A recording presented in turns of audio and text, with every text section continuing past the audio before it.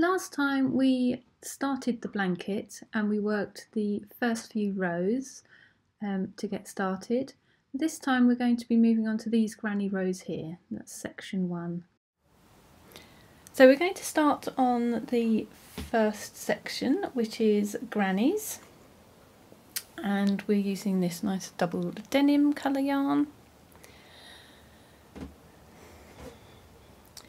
So I'm going to join in the colour the same way as I did before. I just have that yarn sitting on top. I just hook my other yarn through and just pull that end over the back of the hook so that when I work the first chain those two ends will be lying on there and they're stuck in between so that just helps secure them in place. If you um, aren't comfortable just sort of holding them like that while you make that first chain or that feels a bit slippery to you, you can always just tie that other colour on. Um, that's something I used to do.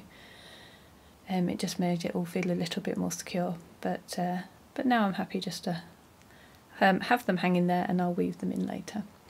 So this um, section, it begins with three chains again. Now instead of working into the next stitch, the second stitch, as I talked about before, for this pattern it actually says or for this section, sorry, this stitch pattern, it actually says to make two more treble stitches or US double stitches into the same place. So in other words, where your chain is worked here, you want to be working into that exact same place for these next two stitches. So that's what I'm going to do there.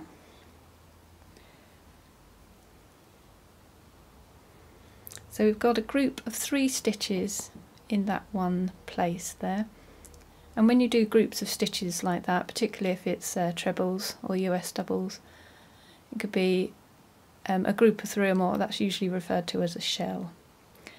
So we skip two stitches, so we don't work into this one, we don't work into this one, and then our next stitch is made into this one.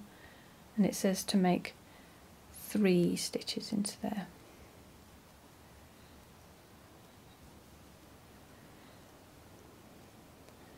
So what we've created there is a little gap between our shells.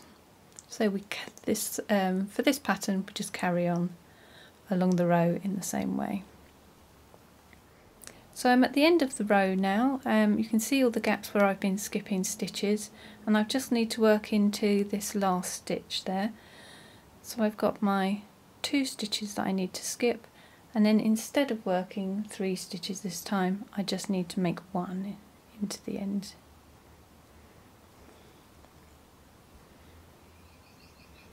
And I'm actually going to cut the colour for this.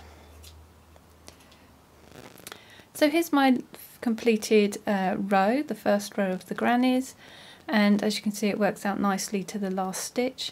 Now if yours doesn't for any reason you may be because you've skipped the wrong amount of stitches so you might have only skipped one or maybe you've skipped three somewhere. So just go back and check that you've got the a gap of two stitches between every one.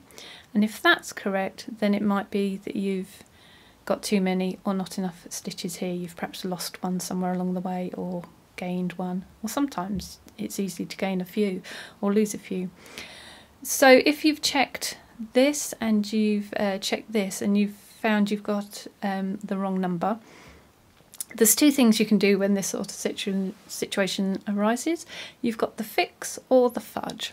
So if you want to fix it, you can rip back, undo um, your row and uh, fix wherever the mistake was and correct it and you'll be uh, off back on track. Or you can fudge it. So let's say for example you've missed out two stitches down here, you've somehow lost them.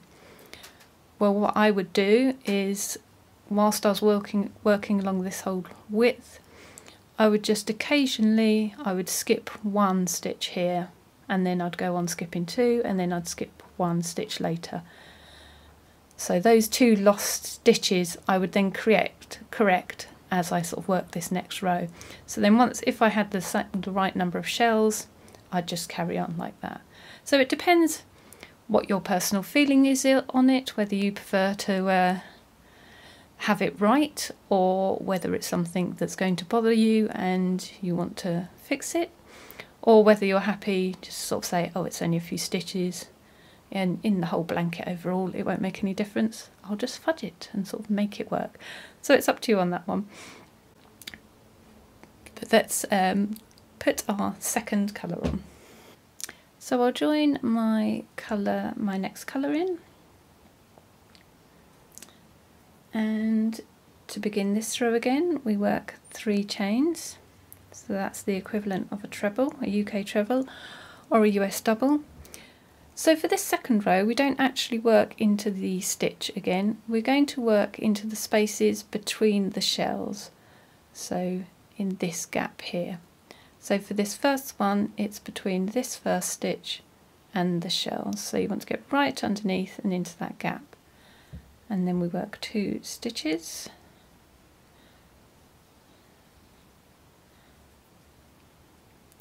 move my yarns out the way. And then I can just continue working into these gaps across the row. And then again for this row I've worked into all the spaces so now I just finish by making a one treble and that will go into the last stitch of the row below.